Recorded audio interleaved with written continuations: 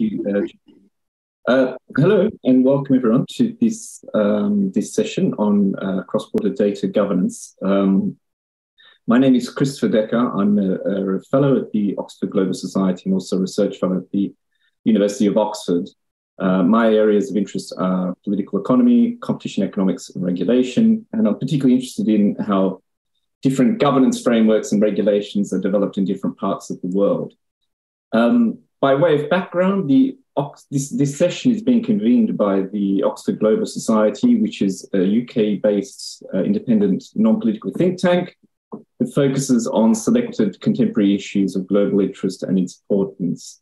Uh, its mission is to conduct independent research, to provide independent advice, to engage with the global community, to inform the public on issues of global governance, and to provide a forum for debate and discussion. And this session is very much in line with those ambitions and aims. And I'm, I'm very pleased to be chairing this session today on, on, on uh, the cross-border data flows.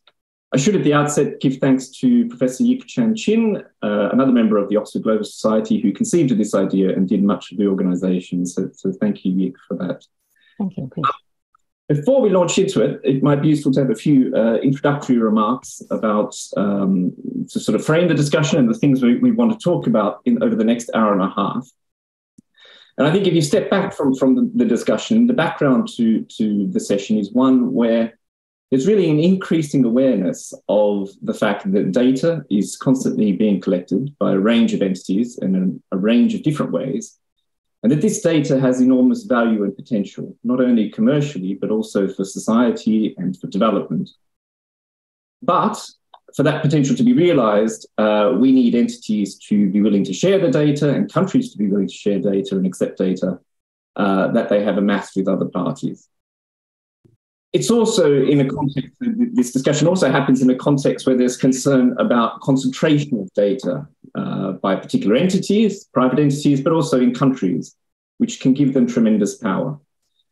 And for some, this reflects a, a, sort of missed opportunity. An opportunity, there's an opportunity cost, if you like, of not allowing others to access data who can do new and innovative things with it and could provide wider social benefits.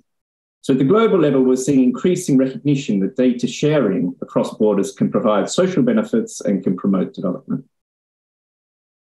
However, while there's considerable potential, and many recognize this considerable potential from greater cross border data sharing, it's currently limited by various factors, and hopefully we'll cover those today.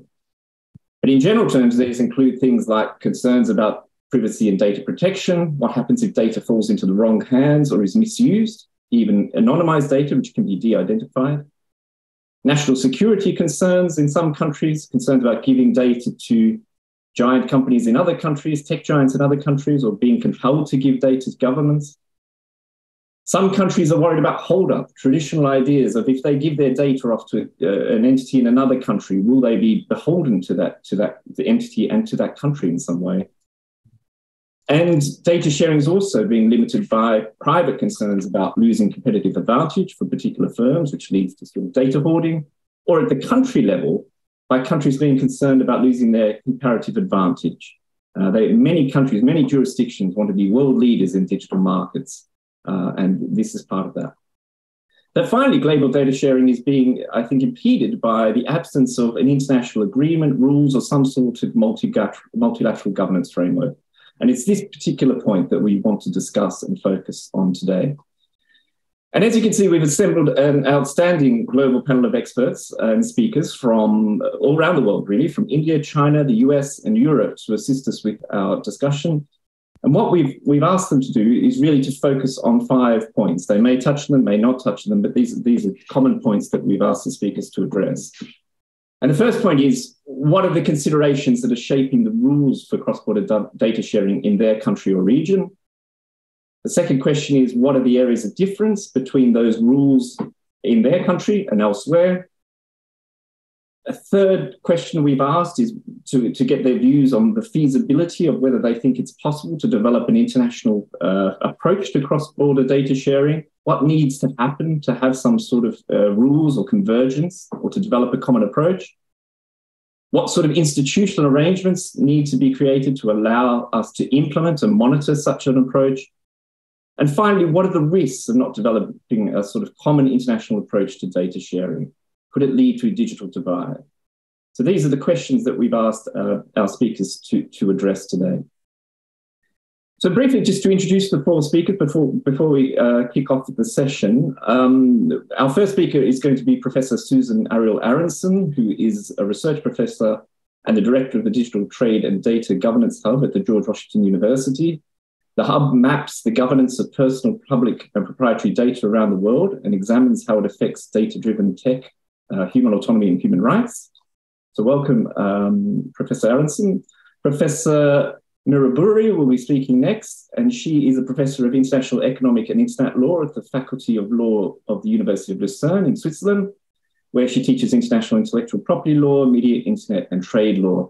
Mira is the principal investigator of the project Trade Law 4.0 uh, under a European research uh, grant, and she also consults with the European Parliament, UNESCO, and others on the issues of digital innovation. Following uh, Professor uh, Burri will be Professor Yik-Chan Chin, who is an associate professor at the School of Journalism and Communication at uh, Beijing Normal University. She teaches cyberspace governance, digital media law, and ethics, and she participates in the UN's open-ended working group on developments in the field of information and te- telecommunications. And our final speaker will be Dr. Mansi Kedia, who is a senior fellow at the Indian Council for Research on International Economic Relations her areas of research include digital and telecommunications policy, tax, and industrial policy. And she was appointed a member of the task force for rewriting the direct tax code in India and is currently a mid career fellow of the Internet Society.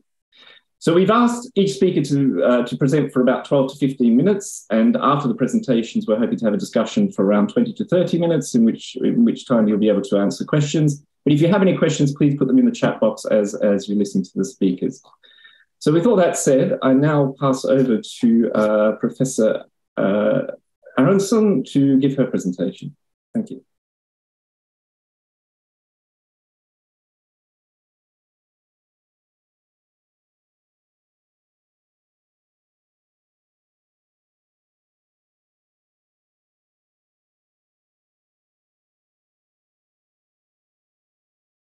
Uh, Professor Aaronson, you're on mute, I think your I think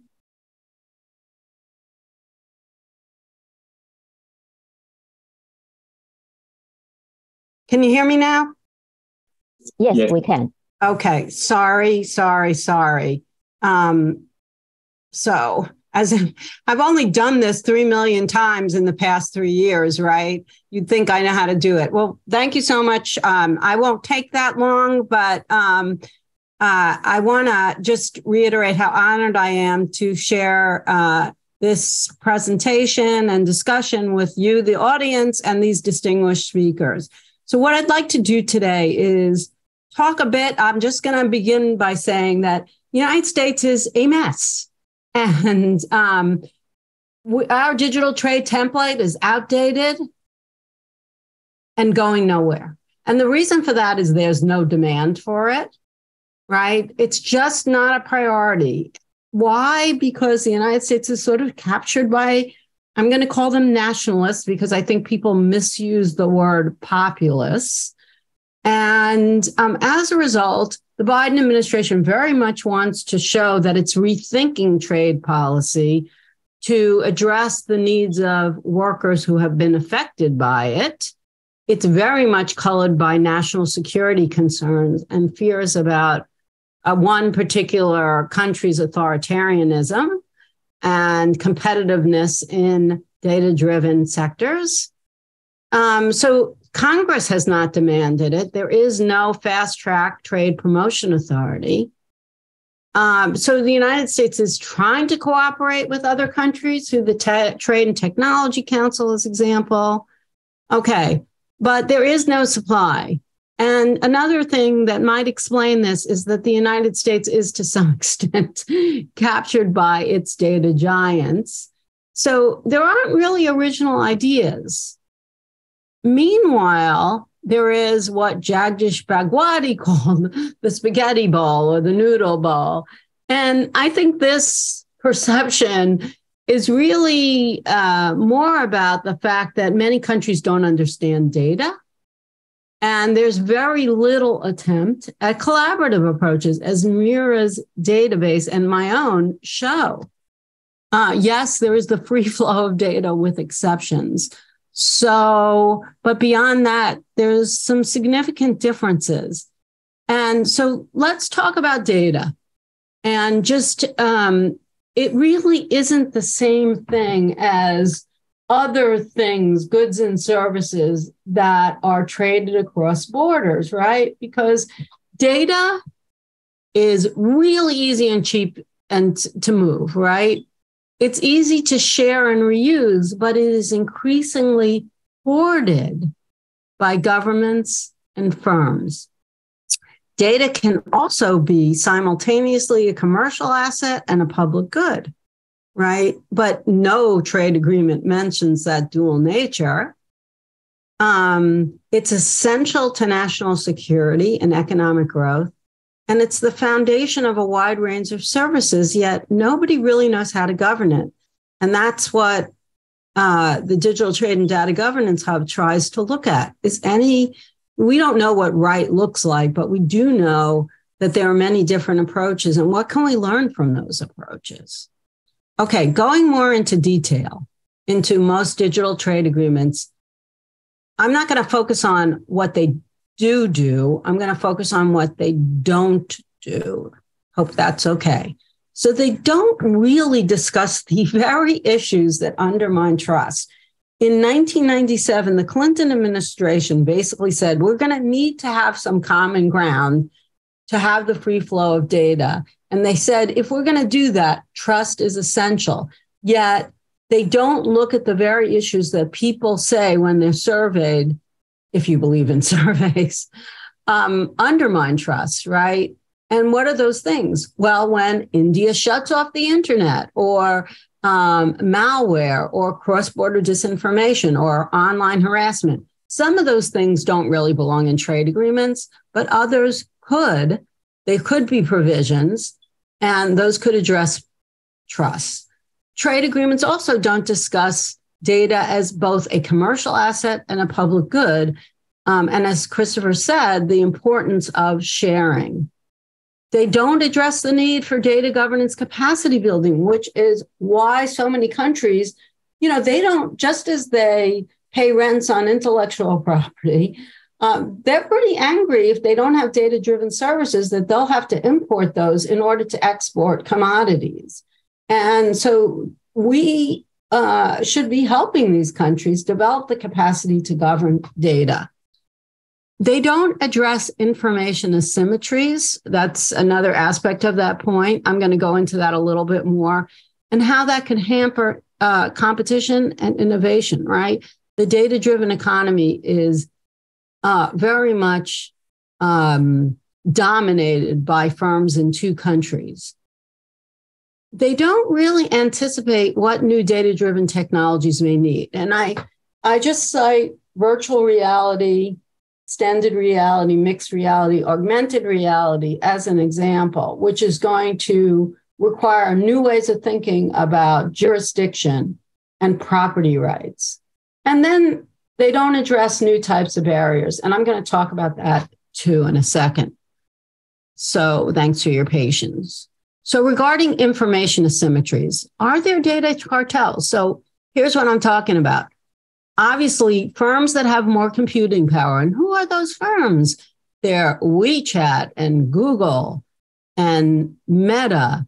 Those firms have more computing power and they're better positioned to extract and use data and those firms, in turn, are better positioned to exploit big data sets. Oh my God, I misspelled sets.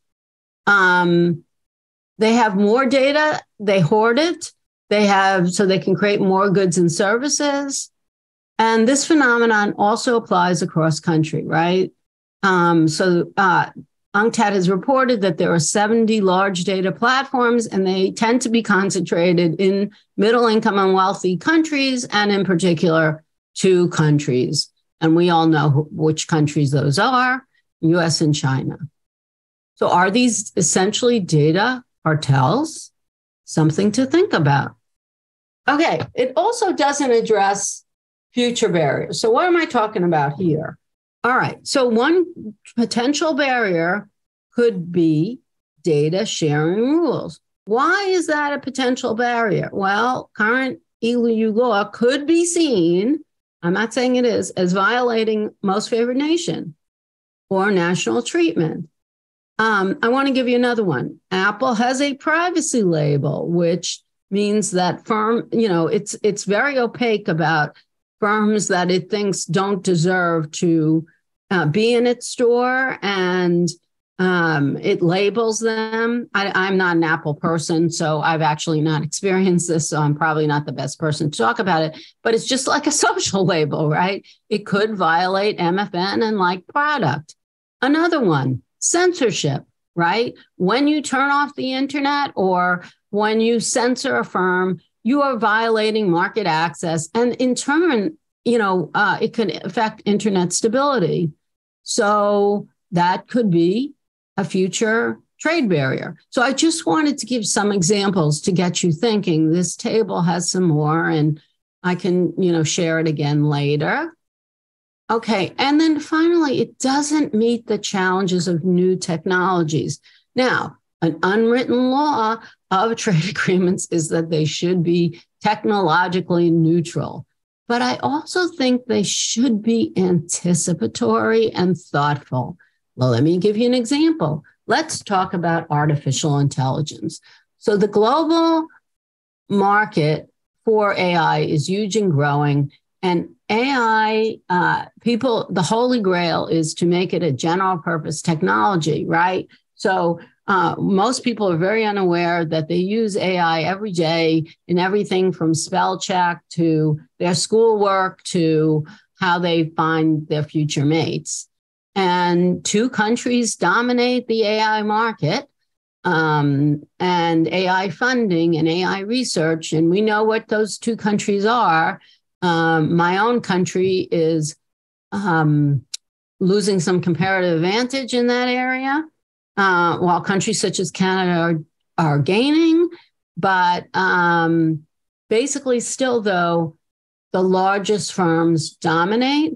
And it's very interesting. Uh, these firms often rely on open source methods for their algorithms, but generally use trade secrets to protect um, their data and their algorithms, and most importantly, to control the data that they analyzed. And we can talk about that a little bit more later.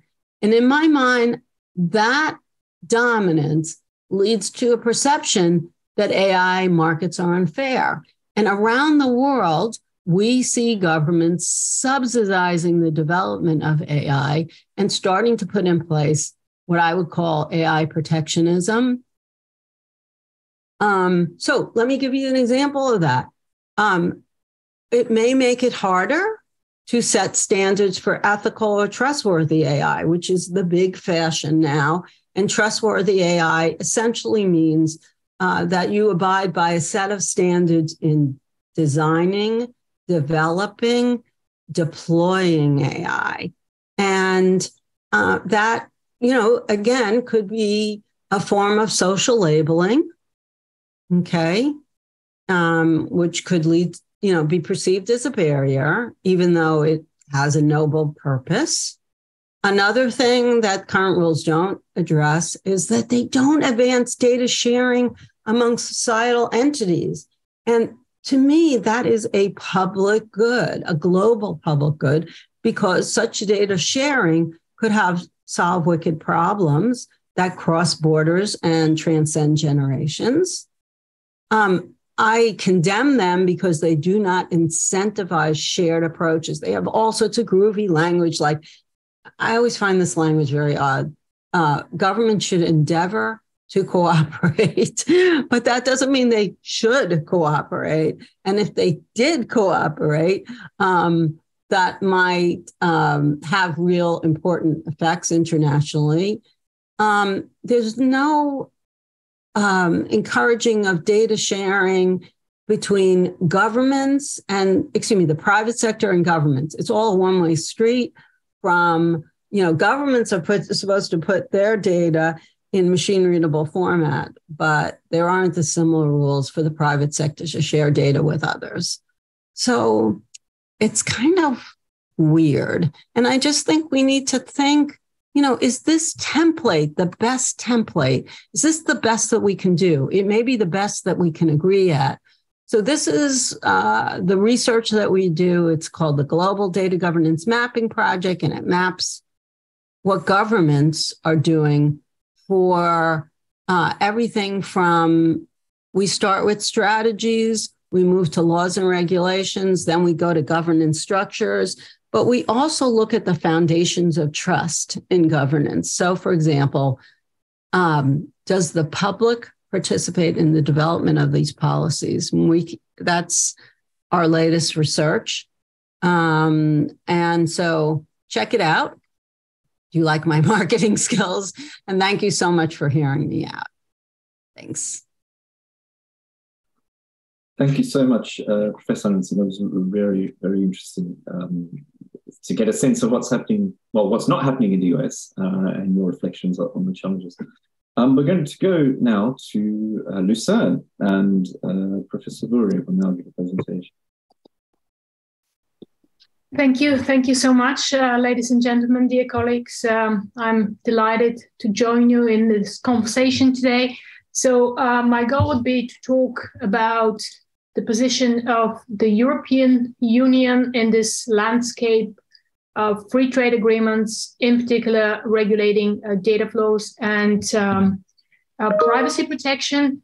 And as Chris mentioned in the beginning, um, in order to somehow understand this, it's the backdrop is quite important, and there is a technological, geopolitical, um, and regulatory context that um, I'll briefly talk about in order to, to see how the EU's position has also evolved uh, over time.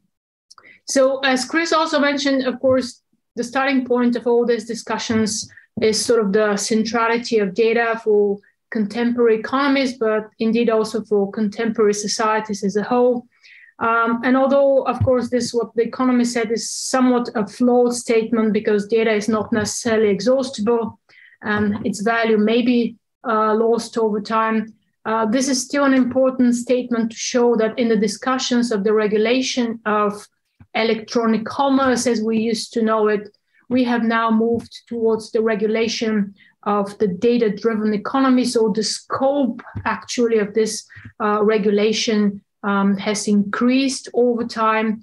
And governments have, of course, struggled to formulate new types of trade policies that can reflect uh, these new practices that we have, uh, including, of course, taking into account the growing importance of um, data. Uh, why isn't it so easy to regulate uh, uh, data through trade agreements? On the one hand, that was pointed out, data must cross uh, borders in order to, to have a living data driven economy, in order to have digital innovation and growth. On the other hand, there are certain challenges, of course, that come with this. Uh, on the one hand, um, um, it is just not very easy when data leaves the country to a certain jurisdiction, and also to also make sure that you know the the interests, the values, and the rights of the citizenry in that country uh, are properly protected. For the European Union, this has been, of course, uh, the major preoccupation has been with the protection of uh, privacy. But there are also, of course, uh, other issues. And if you want to look at this rise of digital protectionism, there is a very interesting new report on unilateral measures that essentially lead to uh, digital fragmentation. And you see here the link uh, down on uh, the slide. Um, what is perhaps um, important to mention with regard particularly to uh, privacy protection is that this data, this new data economy and big data analytics in particular, they have indeed uh, uh, put certain challenges between uh, before privacy regulation. And uh, I have listed some of those. Um, Chris mentioned some of those that we don't have this distinction between personal and non-personal data. Re-identification is easy and a lot of the sort of old-fashioned um, data protection laws that we have had around the world, including in the European Union, was simply not look, uh, working properly uh, in this new environment. And I'm going to come back to this uh, later on um, if if you wish. Uh, now, as uh, was mentioned before, also by by Susan, uh, we have a very dynamic uh, landscape for the regulation of data flows and now also data protection in free trade agreements, in preferential trade agreements. And um, we have a great number of such agreements, and essentially all the recent agreements that we have have dedicated rules on digital trade, including rules on data flows and uh, privacy protection. Still, the number of agreements, if you compare the ratio of those agreements having rules on data flows and the rest of uh, the FTAs, is not huge. It's not a, a huge number of trees. What is particularly important, and maybe I, I will disagree here a little bit with Susan, is that over the years, states have developed certain templates to address uh, digital trade. So we have uh, a positioning of the stakeholders and I think the United States um, maybe not now proactively involved in this sort of uh, further development of the templates, but there is still something there. And it all started really with um, uh, the CPTPP, with this um, agreement that we have between 11 countries uh, in the Pacific Rim, which was, however, very much influenced by the United States in the negotiations that led to this agreement. And what we see here uh, is a very liberal approach uh, towards digital trade, towards data flows, which is also somehow combined with the relatively low standards of privacy protection. So the CPTPP and later on also the updated NAFTA, the USMCA, they basically say that anything goes and even voluntary uh, schemes are uh, sufficient to provide somehow interoperability between uh, the different parties uh, as part of those uh, treaties. Uh, the reason I mentioned this CPTPP model and uh, for you to understand perhaps a little bit the landscape is that this model has indeed diffused. So we see very clearly that a lot of other countries have replicated uh, this particular approach towards digital trade, and, and including uh, the free flow of data and a ban on data localization measures. So we do have a great number of agreements that follow this approach. And on top of that, However, um, as Susan mentioned, maybe not the best way to go forward, but we have seen some strands of legal uh, innovation in the digital economy agreements, which have now become sort of the latest trend in this digital trade uh, landscape, with uh, the UK Singapore digital economy agreement being the last one. And here, what is perhaps interesting to point out for the regulatory, for the trade experts, is that uh, not all of them are necessarily linked to a trade agreement. So the Digital Economy Partnership Agreement between Chile and New Zealand and Singapore is not. However, the rest are really part sort of as a, a trade deal. And this, of course, has implications for the enforceability of these different types of agreements. So we can see the EU approach as a reaction a little bit uh, to this uh, evolving regulatory landscape and uh, also a little bit as trying to safeguard its own values in this regulatory landscape. Here it is interesting to see uh, the evolution of the EU position over time. So if you look at the entire sort of set of free trade agreements that the EU has, and there are quite a number of those, um, the early agreements are very cautious. So, in a sense, the EU has been really a late mover into this sort of new dynamic of digital trade rulemaking. Um, if you look at agreements with uh, Chile, uh, with South Korea, and others, they don't have anything on digital trade, or very, very few soft law cooperation type of provisions. Even the agreement with uh, Canada, the one from 2016, uh, from 2017 has very little in it. I mean, there, there are certain uh, soft rules to try to pr- uh, uh promote pr- transparency, to protect privacy, but those are soft things, and there is really nothing on, on data flows. And this changed a little bit, or started to change with um, the EU Japan agreement and the updated of the EU Mexico global agreement, where basically there was a placeholder for the parties to reassess the situation and agree on provisions on data flows later on. Now, the EU, uh, also as Susan pointed out, does have a template, and it's a relatively clear template that, for the first time, sort of replicates some of the US-like CPTPP-like provisions. You know, they say, well, we agree we're going to have a ban on data localization measures with certain exceptions. We're going to have also uh, basically commit to the free flow of data. Yet those must be coupled with the high standards of data protection coming basically from the EU uh, General Data Protection Regulation and endorsing privacy as a fundamental right. So this is also the treaty language you're going to see in the FTAs, basically saying privacy is a fundamental right. And um, you're going to see here the language which I have extracted from the currently negotiated uh, trade deals that the EU has uh, with Australia and Tunisia, and the recently adopted um, agreement with New Zealand. They say, well, privacy is a fundamental right. We would like to have very robust data protection at home. And this must or might also include some sort of a limitation to the cross-border transfer of data. On top of that, we have this really broad carve out that the EU re- really likes in order to protect its policy space, where it says, well, you know, we can regulate in any situation if we wish to achieve a legitimate policy objective, including a great number of public policy objectives uh, and uh, uh, privacy and data protection um, in particular. So we have this approach, which, as I mentioned before, is now confirmed in the agreement with the e- with New Zealand, as well as the post-Brexit trade and cooperation agreement with the United uh, Kingdom.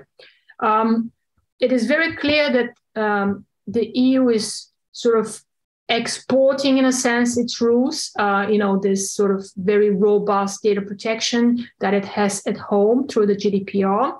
And this is doing this not only through the channel of free trade agreements, but also through other channels as well.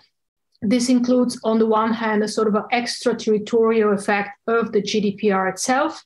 Um, as you know, basically targeting uh, also uh, companies, um, actors that are not necessarily headquartered in the EU, but might in some way process EU citizens' data.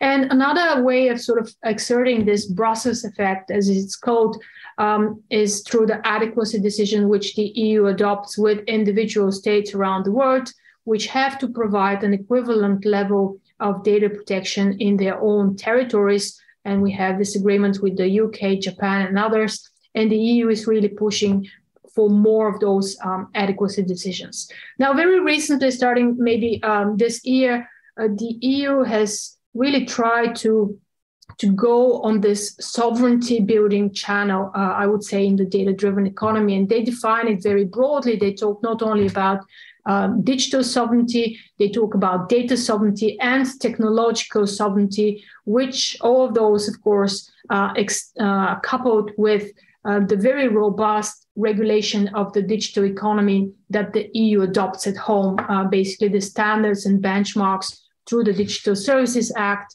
um, and others that basically also have a sort of an extraterritorial effect, this wish to protect, you know, or um, EU citizens' rights and capture also these big tech companies, which are not necessarily, of course, um, EU based. Maybe just as a side note, it's interesting to see uh, the UK because this is an Oxford based seminar to basically men- mention that the UK might be moving away a little bit from this model and it's doing this now in, in recent times quite proactively. So there might be some tension um, with the EU going forward uh, if one looks, of course, at the terms that we have coming from the trade and cooperation agreement and the adequacy decision, which might be not might not be satisfied if the UK is really pushing uh, through this sort of uh, more liberal approach, very much in the model of the CPTPP and um, uh, the USMCA, basically the US model.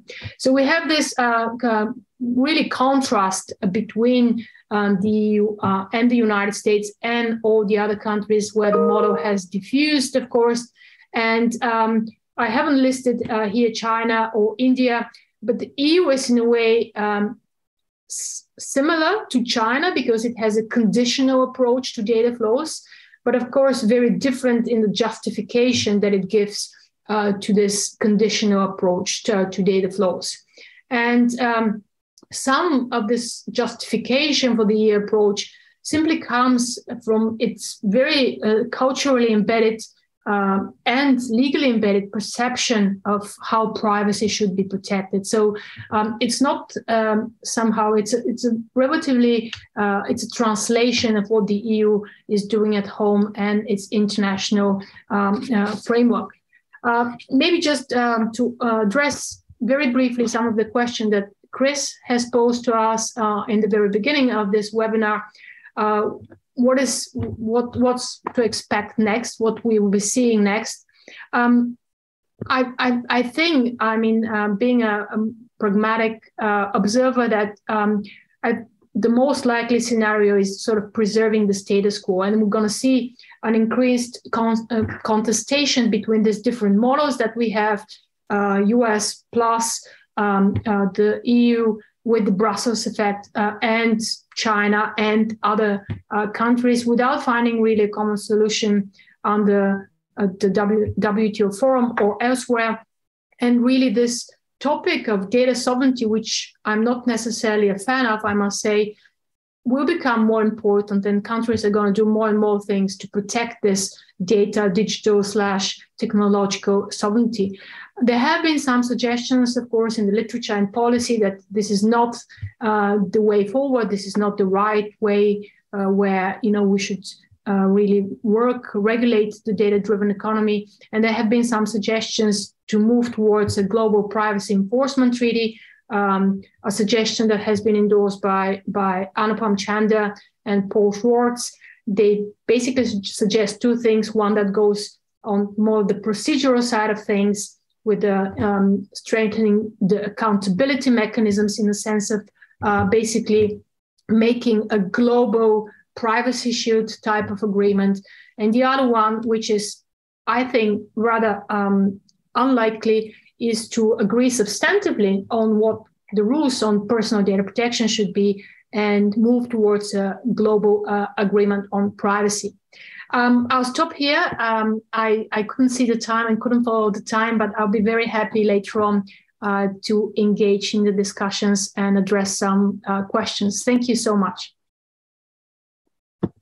So much, Mira. That was that was really excellent, uh, an excellent overview of what's what's happening in the EU and also all these trade agreements that are emerging in different parts. Um, okay, over to uh, Professor Yik-Chan Chin now, who's going to talk about uh, the Chinese perspective.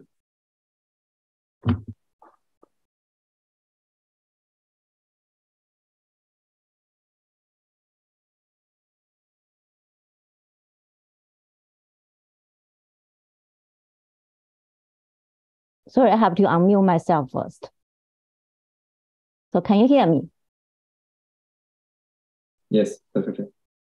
Okay, thank you. So uh, my uh, actually my presentation is following the um, uh, Chris three que- uh, five questions. So it's uh, it's actually I'm trying to attempt to answer the questions posed by Chris. So the first one uh, is about uh, the the features of China's the rules on global uh, on governing the transborder flows. So basically, in, in the, the governance of the cross-border flow in in China is closely tied to the three elements. One is sovereignty. One is, as many already, as my previous speaker already mentioned, so it's about national sovereignty and uh, also national security and the personal data protection. So those three elements, which actually shaped China's governance of the cross-border flow. And then on the other hand, uh, they also categorized uh, the data and the, uh, according to different uh, purpose and different natures. So there are seven categories of course, cross-border data flow and also different uh, local storage requirement. So I will touch this later on. So in terms of the FTAs, China has uh, already China Associ- uh, Australia FTA, but it's also joined the RCEP and uh, they are applying for the CPTPP and the DPA. Uh, sorry. So what are the differences of the difference and the divergence you can see between the uh, three countries? I mean, EU, China, and India. So, uh, so before I go to the difference, I would like to point out why there are differences. Because basically, it reflects the commercial interest and the regulatory approach between those different uh, three uh, regions or countries. So for the US, there are more the the the the the the, interest, that commercial interest is uh, to protect the digital service oriented firm. And also because if you look at the uh, US regulatory model, is more about a permissive legal framework, which means they minimize states' intervention in government regulate the, uh, the market. And uh, if you look at China, China is uh, uh, actually a major e-commerce form of trading physical goods. So, so therefore, they focus on traditional goods rather than the uh, uh, the e-commerce. Uh, sorry, rather than the data. And uh, so therefore, they have a different uh, interests. And also, uh, China's regulatory approach is subject to having the state legal regulation, regulation also co and self-regulations, so which is different from the US. And where the EU as uh, they are more emphasized on the traditional of the human rights protection, and also there are no major digital platforms, you know, uh, dominating in the global e-commerce market, and uh, on top, on top of that, there are lack of the strong central governments to override security issues because without the EU, there's a, uh, no central governments, you know, to concern the, the whole security issues. So those three different reasons, that's why contribute to different approach. And so I will skip this part because uh, that's all uh, quickly. Because the, if you look at the the, uh, the American style in terms of the free trade systems, so uh, they are more emphasized on individual and consumers' rights in digital products, and also have a very restrictive role for the governments to control over the flow of data.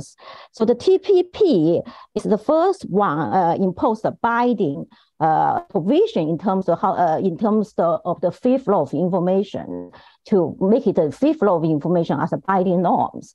And the TPP uh, actually was uh, preserved in other FTAs like CPTPP and uh, also US and Mexico Canada agreements. But uh, on the other hand, they also talk about the privacy because if we look at the US submission to the WTO uh, uh, committee, and they mentioned about privacy, they said privacy is a matter that is least trade restrictive, allow trade to flourish, will preserve the legitimate public policy objective. They agree that uh, we need to protect, need to protect uh, privacy, but they want to have a less trade restrictive effect. So if you look at the uh, EU's approach as uh, Mira just uh, mentioned, uh, actually they use the adequacy decision, you know, to restrict uh, uh, the free flow of the information outside of the EU. And also they uh, just, we, we, we, she mentioned they have this right to take and maintain personal data measure as they deemed appropriate. So actually deemed appropriate is given a lot, quite broad discretions, you know, to the EU as a regulator to uh, impose the regulation on the cross-border flows. And, uh, and they have more strong language and data protection in the future regional agreements.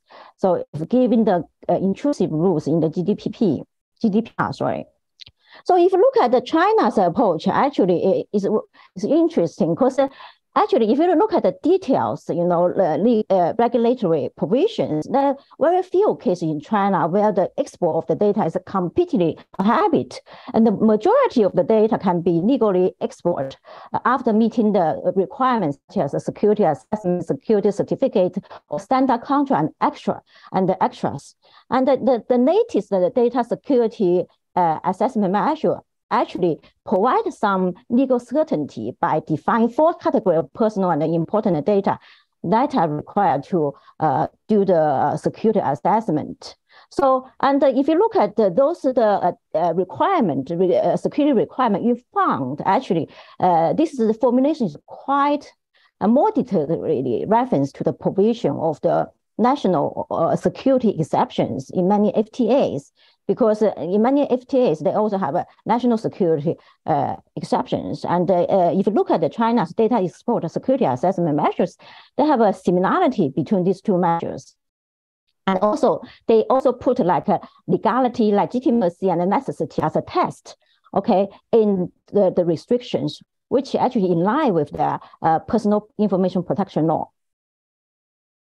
So here, uh, look at the, the different uh, uh, FTA. We found when China joined the RCEP, and they agreed the default should be the free flow of data, not force data localization, but they want to have a border, potential border exception provisions.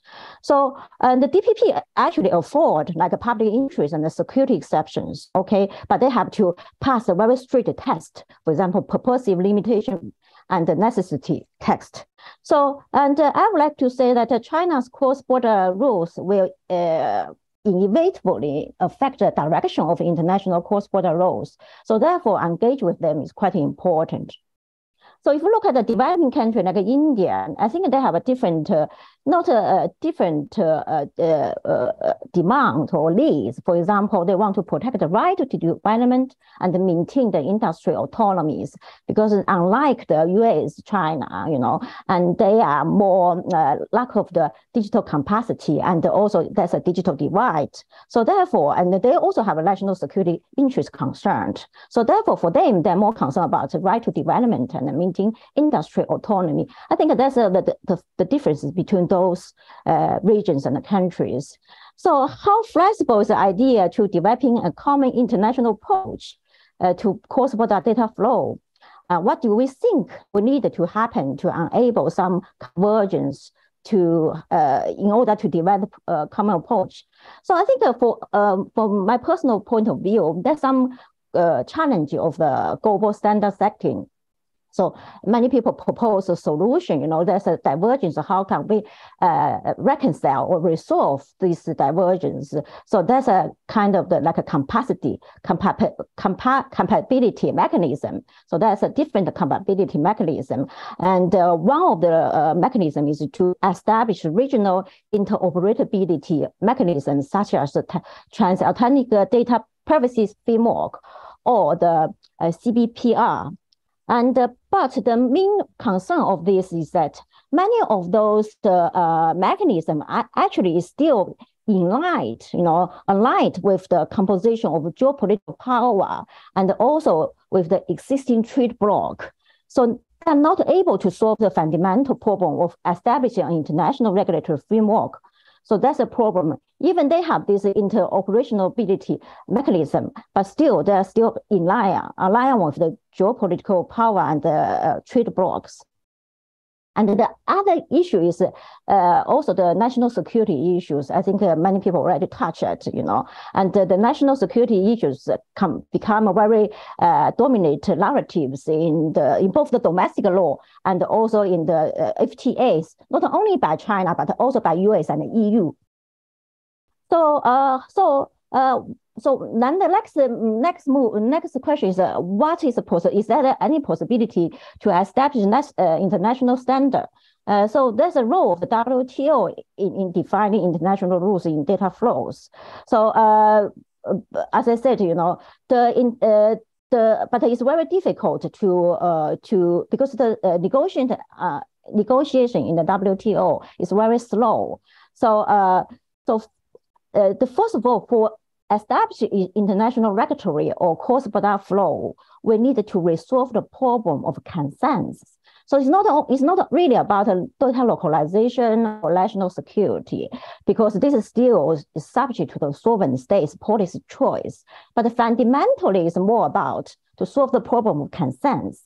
That is, what model, what scope, and what path of course, border data flow can be generally agreed by different countries, and how to find a dedicated balance among the uh, cross-border data and also the legitimate public goals of various states and also individual digital rights, as Susan just mentioned, you know, and in a contextualized, inclusive, and proportional and tier-made, uh, manner. So this is a problem if we want to uh, establish uh, international rules in data flow. So uh, WTO has a, uh, uh, has a kind of role to play, you know, uh, even the, the progress very slow. one one um, recently, recent progress is the negotiation under the joint statement initiative on the e-commerce. So which is uh, uh, backed by 76 WTO members. So in uh, and the 86 mem- uh, 86 WTO members already already you know uh, joined uh, the development uh, participate in this negotiation. So they want to seek the expeditious progress in negotiate uh, in negotiation, including on the key issue of data flow and lo- data localization. And on top of that, they also have this kind of e-commerce capacity building framework, which help the developing country and less developed country to build up their capacity. So uh, wh whether they can achieve a thin agreement uh, is we still have to wait to see, you know. Um, but there's a we can see there's a is, is a progress at WTO. So what institution arrangement do you do we think uh, do I think would need to create a, uh, to monitor and implement such a common approach? So I think first of all, it's about the national security and the public policy exceptions. If you look at all these FTAs, even WTO negotiation, there's a uh, there's a, a narratives of national security exceptions. So therefore, you know, uh, we, we can see that the tendency countries increasingly adopt a very broad understanding of national security, which is beyond the traditional definitions such as a military uh, threat or the non, uh, and to include such as the non-traditional concerns, such as poverty, trade, economy, human rights, and environmental security. So this we call the securitization of the industry policy. So therefore, uh, first of all, in order to uh, build up a consensus, uh, uh, that's a lead to drawing a rational distinction between the legitimate security measure from the other legitimate non-security measure. So this is the first uh, thing we need to address. And the second is, uh, so how can we address that? So first of all, we need to understand uh, how the change of the understanding of the uh, trade and the security at the national level which crash with the global economic governance because at a different national level, they have a different perception about the relationship between trade and security. In China, in EU, EU, uh, EU and the US, they all have a national security concern. So how this different understanding between the trade and security uh, crash with the global economic governance? I think that's the uh, uh one problem when you look at. And and the second is a relationship between the notion of cybersecurity, data governance, and the international trade law, and needs to be clarified. And uh, thirdly is uh, whether we need uh, innovation, you know, in conceptualize the, the national and uh, and also international operation of the security. And thirdly, we need some institutional mechanism to reconcile, you know, the security issue with the trade obligations. So this is in, uh, institutional mechanism can be a trade rules, judicial reviews, cyber democracy, or the international regulatory cooperation, or even the WTO as a venue. So if you look at WTO uh, mechanism, because this is I'm well, focus, focusing on. So uh, at the moment, you know, uh, WTO, they, uh, they still need a binding mechanism to enforce the rules and resolve the dispute. And uh, but there's an issue about WTO's dispute uh, panels because the US has blocked, you know, the high, uh, the high of the new judge uh, of the WTO's uh, dispute panels. So this is uh, one of the obstacle. The second obstacle is also about whether there's a there's a consensus the WTO needs to reform, you know, and to provide, let's say, condition to um, kind of to to uh, facilitate the three largest economy like China, EU, and China and uh, and the US to address the trade tensions because without the cooperation between the China and the and the uh, US, it's very difficult to reach any trade agreements under the WTO mechanisms. So there's a, a urge of the reforming of WTO. So what are the risks of not developing a common international approach? And uh, so there's a several risks. Uh, first of all, is, of course, is increase the transaction cost and the risk for the business sectors, you know, because without uh, the common uh, uh, common framework, if just uh, between the bilateral agreements or regional agreements, or even uh, the uh, the country between country to country, between company to company, which will increase the transitional cost and the risk for the business sectors. And secondly, the FTA is actually is not set up the international ground uh, common framework, but mainly is strengthen the interdependence and the trust of country involved in that regional trade bloc. So we can see there's a divisions, you know, uh, country particip- participate in the particular FTA, they will strengthen their inter- interdependence trust, but um, excluded others. So this will uh, produce the kind of exclusion effect and also digital divide fragmentations, and especially for a large number of the developing countries that are not integrated into the global trade system. And the more, and lastly is the perpetuate the geopolitical and the technology cold war because we can see a lot of the problem we are facing is the result of the geopolitical and the technological decoupling or cold war and if we cannot resolve the global uh, the governance, global governance of the data flow, it will probably could perpetuate, you know, this kind of cold war or the divisions or the we kind of decoupling. Yeah, I think that's all I yeah for my for my presentation. Thank you. Thank you so much, uh, Yik, for, for that presentation. That was excellent. Um, our final speaker now is uh, Dr. Mansi Kedia from India, and over to you. Thank you. Thank you, Dr. Decker. Just a moment, I'll quickly share my screen. I hope this is visible. Yes, that's fine. Thank you. Thank you so much. Uh, let me begin by thanking you and Dr. Chin and Oxford Global Society for inviting me to this uh, really wonderful panel discussion. I'm uh, I've, I've gained a lot from listening to everyone that spoke before me and also providing me a perspective uh, that I think that I, I knew, but I'm seeing some really new ideas.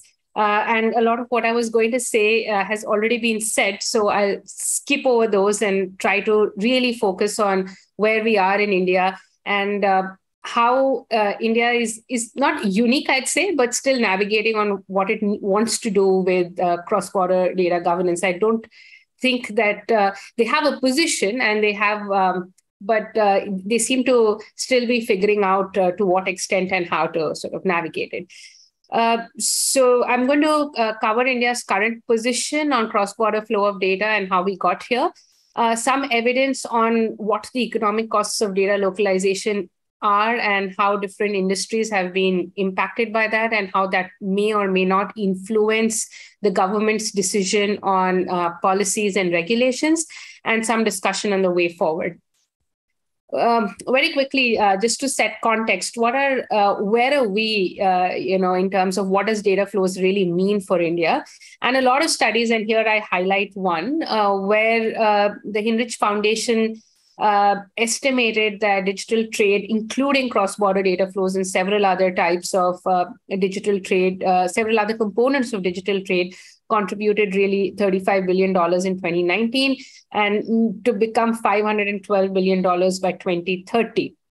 What this is accompanied by is data on how traffic or internet traffic in India is largely driven by firms that are based in the United States, and that most of the data that is generated by internet use in India is actually stored outside India. The other important fact, I think, is that queries related to cybercrime and data requests uh, raised by law enforcement agencies in India, 845 of them in 2021 were still pending under uh, what we call the Mutual Legal Assistance Treaty, the international framework that is available for coordination and resolution of uh, cybercrime, um, as well as uh, some independent queries raised with foreign courts. Uh, what this has led to that of the 62 countries that have a total of 144 data localization regulations. This is a number i have picked up from another report, uh, and I'm I'm going to admit that I haven't verified this, but let's say about these numbers 62 countries, 144 data localization regulations as of 2021. India had the second highest number of restrictions behind China, which uh, Professor Yin just spoke about how uh, they, I mean, despite uh, these exceptions, uh, China seems to be fairly firm on how it wants to allow export of data and uh, free flow. And in India, the sectors that see data localization regulations are largely related to telecom subscriber data, financial services quite extensively, uh, on cloud services that are provided to the government, uh, company accounts, and other forms of public data that are collected by the government. Um, just to reiterate the strong position that India has on digital sovereignty and wanting some control over the data and over uh, just the digital economy that is currently evolving in India. In multilateral agreements, and everyone's covered this, but just to sort of confirm India's position, we've we haven't we didn't sign the uh, osaka track. Japan's proposal on data free flow with trust in 2019 uh, along with south africa and indonesia we were uh, the only country that didn't sign and there were other countries other developing countries such as brazil south africa uh, brazil china that uh, did uh, go along with with the G20 to cooperate uh, on um, arriving at a global framework for uh, data free flow. But uh, India, India abstained from it. And similarly, on uh, the WTO's joint initiative that uh, Dr. Chin spoke about so eloquently, uh, India, I mean, is is opposing and finding um, ways to stay away from that discussion on, on different grounds. On the bilateral agreements, uh, however, there seems to be um, slightly a slight loosening of that stance, and there is at least some discussion on uh, wanting to cooperate and wanting to allow free flow of data. However, there isn't um, a very firm uh, th- there isn't a very firm documentation or firm wording in any existing agreement that would put put binding restrictions on Indian and Indian companies to allow free flow of data. So uh, on the US, we don't really have anything. It's sort of a stalemate. There is some discussion uh, going on in the Trade Policy Forum, but um, we don't know what direction it's going to take. There is very loose language in the uh, recently concluded India UAE CEPA. Uh, in the Australia India agreement, we do not uh, have those negotiations recorded on cross border data flows yet, but likely to happen. So, uh, what I'm trying to say is that while in multilateral agreements, India has had a much stronger position in terms of not wanting to engage or abstaining from any uh, position that would even suggest that they'd allow for free flow of uh, data. In bilateral agreements, there's a softening of that position. And um, domestically, what is happening is uh, uh, that India currently, uh, on, on privacy issues related to data localization, India does not have a privacy bill. For the last five years, we've been trying to negotiate and work on something, uh, what a version of what we saw in 2021 that was uh, very much aligned to the GDPR with, with the inclusion of several uh, localization requirements um, has been junked. Uh, and uh, the telecom minister has said that a new version will be uh, brought uh, for consultation. And uh, we are expecting that it will continue to include uh, a combination of mirroring and hard localization requirements. There are also a ton of sectoral policies, uh, and you saw that in the previous slide that we have probably the second highest number of localization restrictions. Uh, and it began with the Reserve Bank of India in 2018. I mean, it began much earlier when telecom companies uh, were uh, required uh, to store data on subscribers and several other mandated security uh, transactions to hold data. But in 2018, Reserve Bank started this whole process of um, bringing in financial services data transactions into uh, into uh, domestic jurisdiction.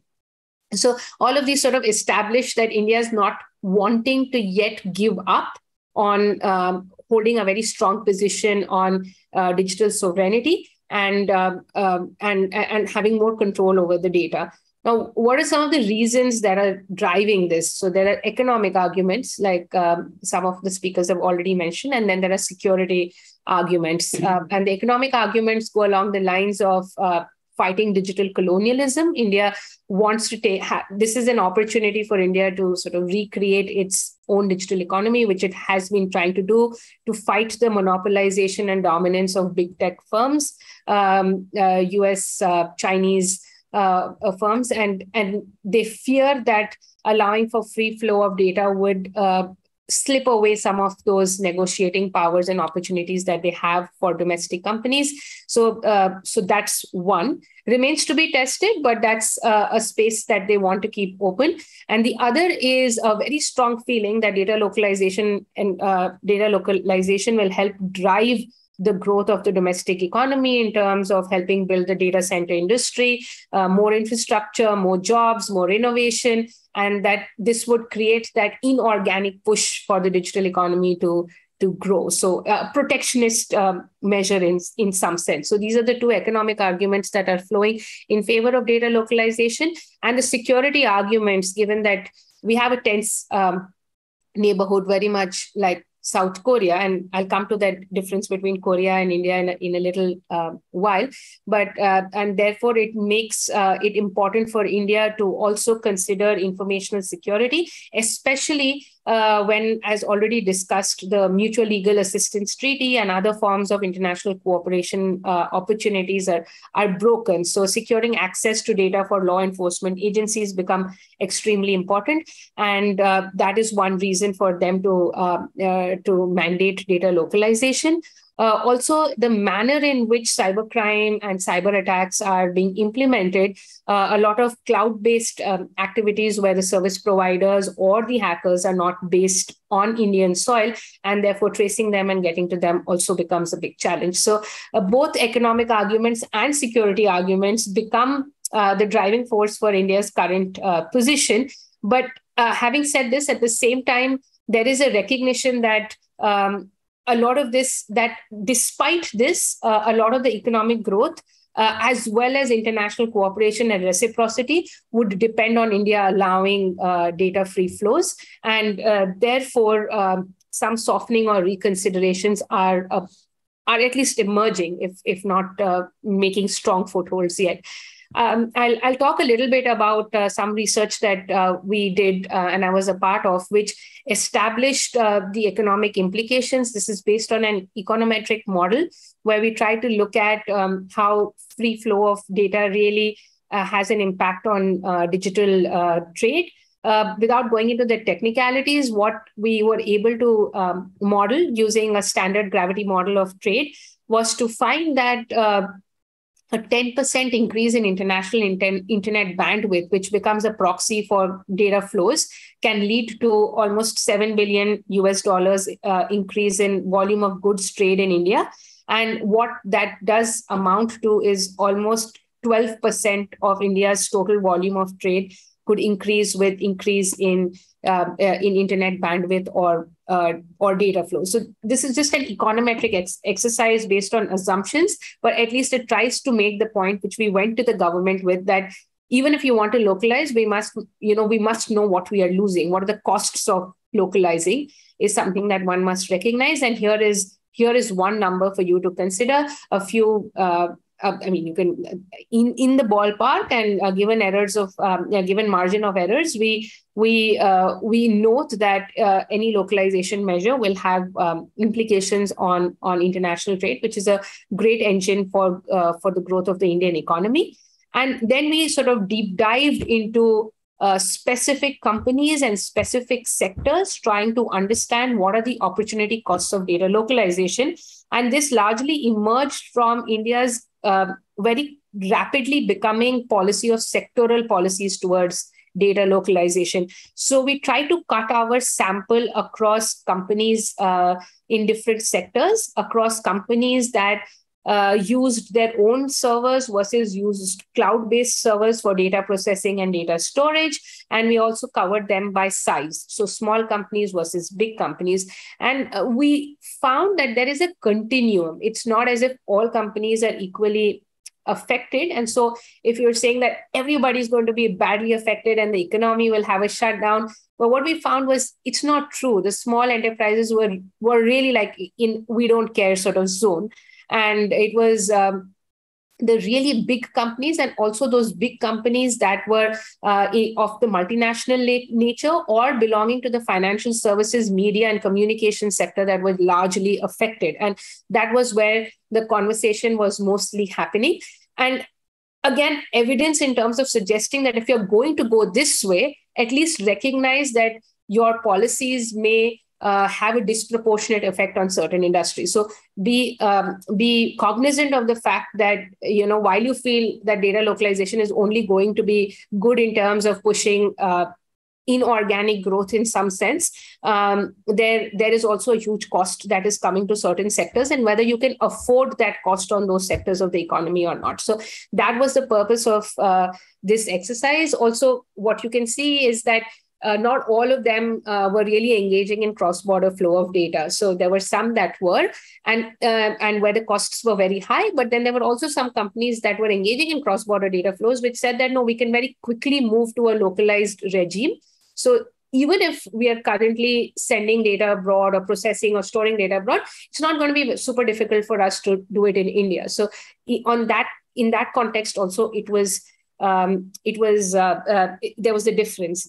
So after having done all of this, and you know, it's it's really nice that everyone else has spoken before me. Is uh, when I was putting together slides and thinking of a way forward, I essentially thought that you know probably India is going to have something like a fourth model and that it won't be all US and it's not going to be all EU and it's not going to be China and Russia.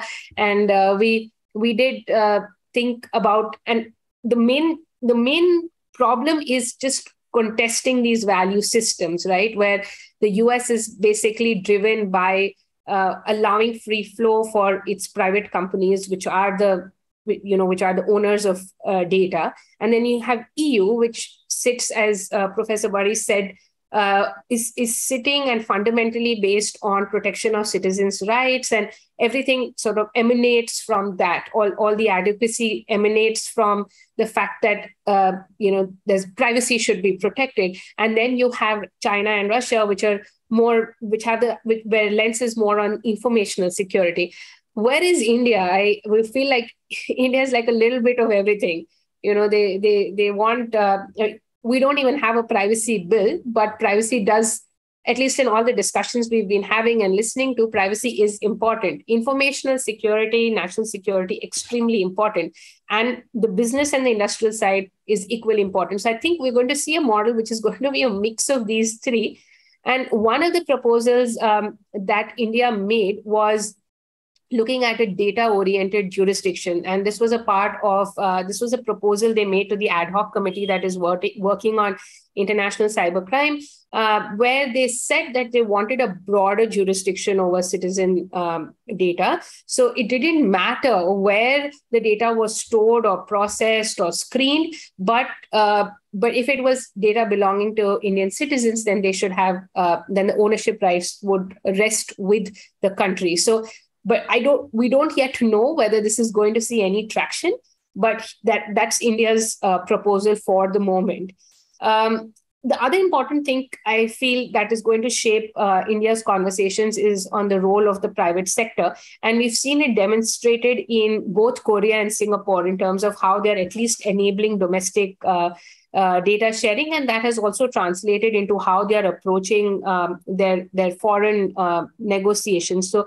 despite similar sort of national security concerns in South Korea, um, we uh, they are much more open to uh, data free flow with trust. For example, they were they're a part of the Osaka track, but India uh, abstained from it.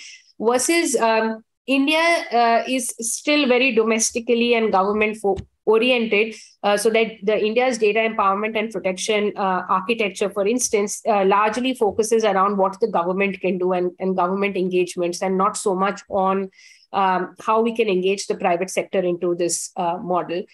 Um, the final point is uh, what you know while everyone was talking about you know how do we get to an international agreement in in my mind i think we have to accept that you know it's going to be the world of the second best and that we probably may never land up with uh, an agreement which everyone would agree to and what would be this world of the second best and we already have some examples and several uh, several examples have already been spoken about in the previous presentations one is definitely to reform the mlat we already have um, a framework. It just needs to be strengthened. We need capacity building around it. We need uh, institutions to coordinate and make it more effective regional blocs such as the Asia Pacific Economic Cooperation on Privacy, uh, the Budapest Con- Convention on Cybercrime, again, um, something that both India and Korea have stayed away stayed away from for the moment, but an extremely effective framework to to to not localize and yet solve uh, the access to data problem for law enforcement and uh, cybercrime. So I, I, I think there is a solution somewhere in the middle, which may not emanate from a complete global agreement on all of these issues. It and and to me that's not pessimistic really. It just seems more pragmatic. So i'll stop here and uh, look forward to any comments and feedback. Thank you so much. Thank you so much uh, dr. Kedia. That, that was uh, really interesting to get the, the, perspective on on india and and the uh, the frameworks that are emerging there uh, we've got two questions in the chat which i'll put to you all and then i'll um, put another question to you to try and close that discussion or stimulate the discussion um, the first question is whether uh, it's particularly directed to you, Dr. Kedia, but, but also to the other speakers. Uh, and it's about the free flow of data. And the question is uh, the free flow of data and trust initiative. And the question specifically is why India didn't, didn't uh, sign up to that. And the more general question is whether other speakers consider it to have potential and whether it can be improved as a potential, potential model for the global free flow of data. So this is talking about the free flow of data and trust initiative. So that's the first question. The second question is whether, again, directed to all speakers, there are already examples of digital trade provisions that address cross-border cooperation on data spaces. Um, and we may have touched on that in the discussion earlier, but it'd be good to, to highlight that. So perhaps if we go to you first, Dr. Kedia, to talk on the India perspective and then open it up. Uh, thank you for the question. Well, I the reason India didn't sign is all the reasons that I spoke about in the presentation is that uh, they have a very strong position on wanting to protect uh, the opportunity they have to create um, a homegrown digital economy uh, that is not dominated by American or Chinese uh, companies. And they feel that this is that uh, allowing for um, data localization and not allowing for cross-border free flow of data, despite having really benefited a lot from that uh, during the period of the IT revolution. I mean, that's how India really came to become uh, an IT giant in some sense. But in terms of digital, we didn't, we sort of missed that bus. And here is our opportunity. And uh, so the economic lens is there. And the second is the the national security lens, which also becomes important. And committing to anything at the G20 would mean that they have very little policy space to maneuver uh, domestically. And uh, I think, and, and, and that's the reason why it's not just the Osaka track or the G20, but any in any other multilateral forum, they have abstained from taking a position on um, data free flow. Uh, in fact, uh, and, and, and, and only probably trying to break ice through uh, through bilateral agreements, which they are more comfortable with, or choose specific partners uh, with whom they feel that there is a big trade deal or there is an economic engagement that is worthwhile to reconsider their data governance policies around.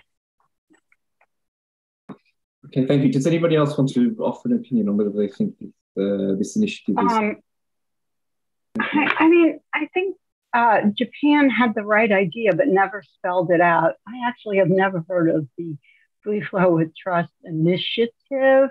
I understand what you're trying to say. I think all governments seek to to build trust. As I said before, the problem is um, that basically they are trying to build trust among governments. I, I'm I, I have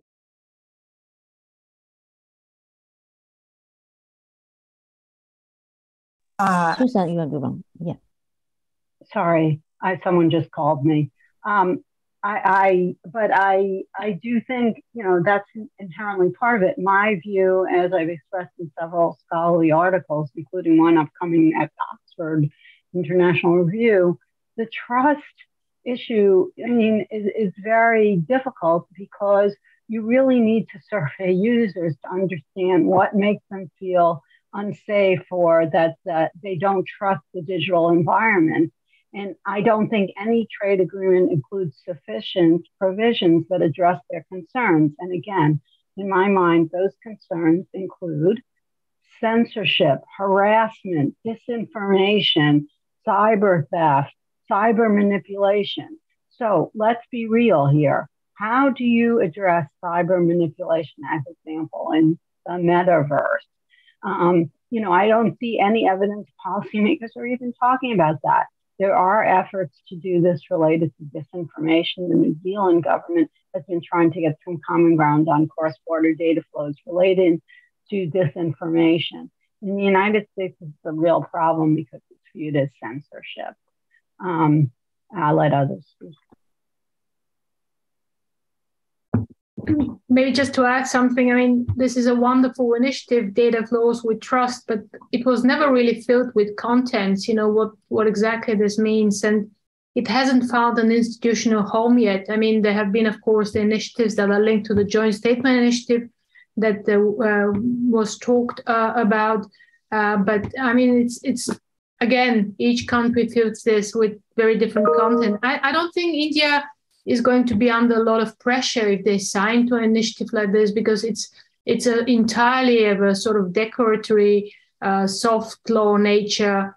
Um, I mean, for me, it's it's it would be best for India maybe to join RCEP because there are so many carve out, so many policy space, and it would be actually relatively easy in terms of digital trade policy, notwithstanding the other issues, of course, that are part of this trade agreement, to join. Um, but let's see.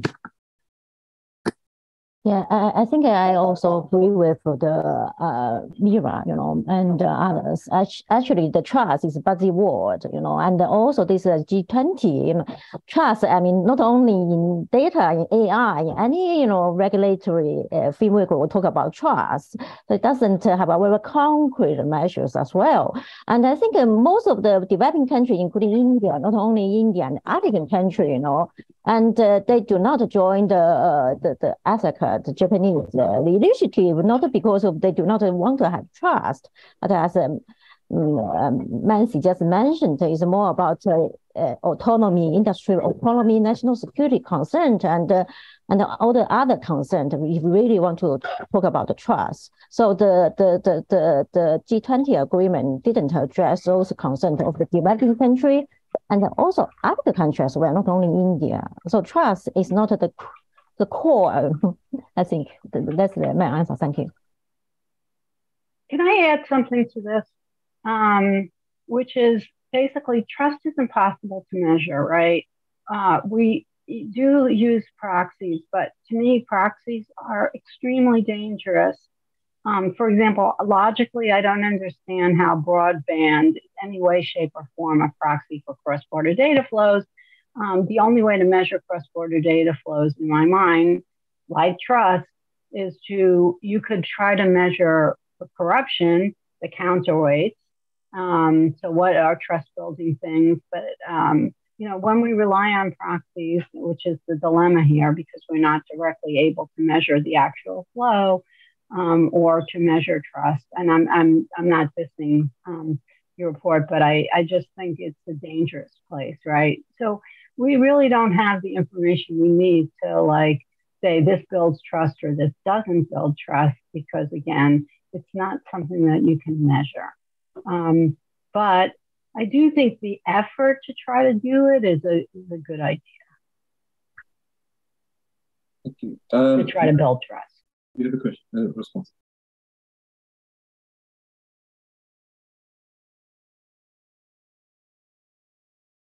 Sorry, Mansi, did you have your hand up? Did you want to say something? Uh, yeah, I just wanted to sort of add that uh, you know on the G20, uh, the not not uh, becoming a part of the data free flow with trust, like everyone said, I don't think it was it it was a substance, but it was more about the signal that countries wanted to put in place about whether or not they were on the negotiating table. So everyone's absolutely right in terms of there not being enough substance uh, on um, on how that free flow would happen, but more in terms of a signal whether or not they were um, they were ready or they were willing or open to the idea of uh, free flow of data. So I, I just wanted to sort of clarify that. Thank you. So I'm just conscious of time. We've got another question, which was the question about uh, examples of digital trade provisions that address cross-border cooperation. And I know, uh, Mira, you dealt with some, and also uh, Yik-Chan, you, you identified various agreements. Um, is there anything you'd like to add to that question? I think uh, in there's a transatlantic, uh, you know, framework, privacy framework. So this is uh, is uh, and the other one is uh, I just mentioned is the ASIC. In the Asia Pacific uh, corporations, they have this privacy framework as well, which is regional. But American just American and just expanded to a global initiatives and as a, a kind of you know corporations interoperability mechanisms. But the problem with that, as I said, you know, the, the, the, this Asia, uh, the Asia Pacific is CBPR framework has been criticized, which is uh, to facilitate uh, particular countries' interests. Uh, and also to exclude it, you know, some other countries as well. So all these uh, regional operational um, interoperation uh, uh, operational mechanism as kind of the you know mm, because it's a regional trade uh, block based, so it's always have a kind of exclusions you know issues as well. Okay, excellent. So just to close it, I've got a question for all the panelists, just just very quickly um, of you. So I think going back to the sort of overarching question that we were focused on this session, I, I think we've all seen that there's some value in cross-border data sharing. I mean, slide was very clear in the digital trade benefits to, to India by 2030. Um, and also that there's opportunity costs of data localization and the potential digital divide. But we've also identified various um, barriers and blockages uh, to getting cross-border uh, cooperation on data sharing. We've also spoken about future risks of not taking account of changes in technology, and Suzanne's presentation was very good on that. Um, so I think the view is that something needs to happen. Um, and in the discussion, I think there were three potential models or trajectories were presented. One, uh, which came out, I think, particularly in your presentation, Mira, was the, the idea of having the CPTPP uh, chapter and the EU template uh, evolving, perhaps in tension with each other. Another model was uh, model of the WTO as a thin agreement. And then Mansi's uh, discussion at the end spoke about the UN ad hoc committee on, um, on data oriented jurisdiction within the International Cybercrime chapter. Uh, so, my question to all of you then is of those three models or trajectories that, we, that, that came out of the discussion, which do you think is more desirable? Which do you think is more likely? And is there any other option? So perhaps we could start, uh, if anyone wants, well, I'll leave the floor open if anybody wants to go first. Otherwise, we'll go through, or Yik-Chan, I'll give you the floor. Okay, so I, I personally prefer the WTO model because, as I said, you know, WTO model is more beneficial to the uh, developing country and less developed countries because they have to because each have more equally participate and uh, also the the, the, new initiatives you know although uh, South Africa and uh, and uh, India and uh, reject it because as they, they already uh, mentioned already the reason you know because basically they do not have this want to have agreement on on the, the policy restriction on the uh, on the on the restriction. They do not have a policy on free flow. They want to allow the country, you know, to have a restriction on data. So that's the reason they reject it.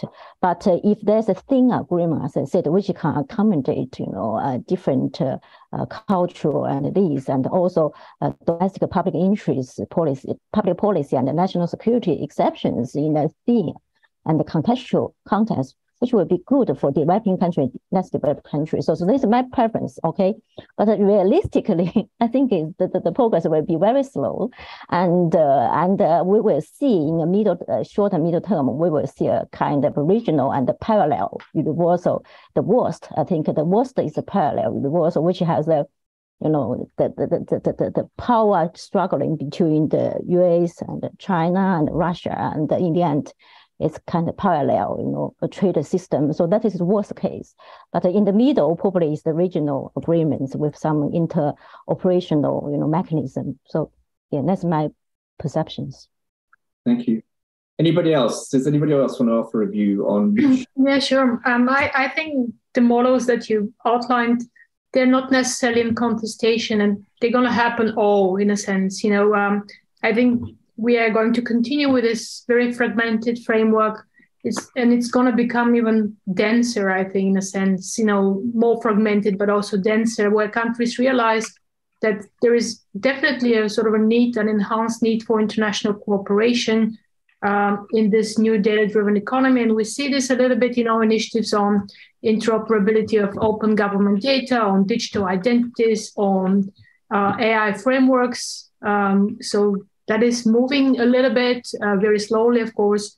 And then we're going to have perhaps a very thin agreement coming from the World Trade Organization, which still is going to be beneficial, you know, for enabling digital trade, not necessarily solving all those sort of data issues, but still giving some legal certainty and uh, opportunities for businesses, including in in developing countries, as, as it was mentioned. So I think it's just going to be a lot of work for us as lawyers and political scientists. There's going to be a lot of research to do.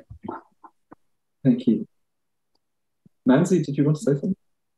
Yeah, I, I sort of completely agree with uh, what Mira is saying. I think uh, these are going to evolve parallelly. And I feel like it's probably a better way for it to evolve. It's going to be more organic, where countries choose to um, uh, choose to, uh, I mean, they pick and choose one, what models, but I think what it will also do, as it eventually does in, in the case of several other global governance issues, whether it is climate or cybersecurity or trade, as it has been historically, there's always some sort of convergence that emerges. And, you know, there, there eventually will be an organically determined governance model that more or less all countries would be uh, comfortable with some version of it. And that there could be an exception in one or two countries which are, are opposed which are opposed to that idea. But um, but i think we should just we should allow for different models to evolve um, and for countries to choose from those models instead of trying to force or drive uh, or or for policymakers or for anyone to actually say that no this is the best model. I don't think that is the best model. I think the the, model that works for a country is the best model. So um, I, I, I would completely agree with the others that we should uh, we should let everything uh, evolve parallelly and wait for things to unfold. Okay, thank you, Suzanne. Did you want to make a comment on this? Well, I think data flows. You know, data is exchanged. There's often no transaction involved. So is it really the right place to govern it under trade? That's where the action has been.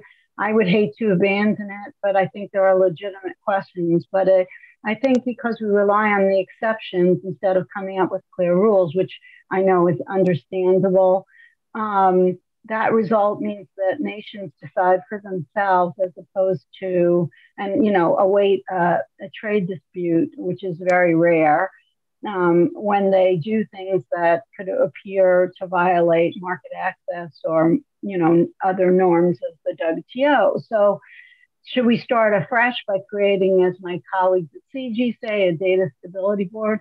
I, I don't know the right answer to all that, but I, I feel like the WTO is incapable of dealing with these issues um, multilaterally, and that's why you know, it would be good to see something building on, for example, DEPA, um, which I think takes a more flexible approach. But honestly, I don't know. And I'll leave it to all these brilliant people to to make a better choice. Excellent. Thank you. Um, Okay, well, that, that's that's very useful, I think, for, uh, to close out the discussion and uh, to hear the view that you know, no, particular model is is we should advocate for, and um, in a sense, uh, let them develop uh, as they do and, and, and sort it out. I mean, I suppose the issue there is one of time. If we're talking years or decades, and the potential opportunity cost of that period, but nevertheless, uh, it's probably better than imposing a model that nobody signs up to. Thank you very much, Iran, for, the, for your taking the time today. I found that really interesting. It's been uh, very useful um, and I think fantastic to get these different perspectives um, from everyone um, around the world on, on, on, what's happening in their countries and also uh, how they think a governance framework can evolve. So thank you again for your time and um, I hope to see you again. Thank you. Bye. Thank you. Have a good day, everybody. Thank Bye. you so much. Bye.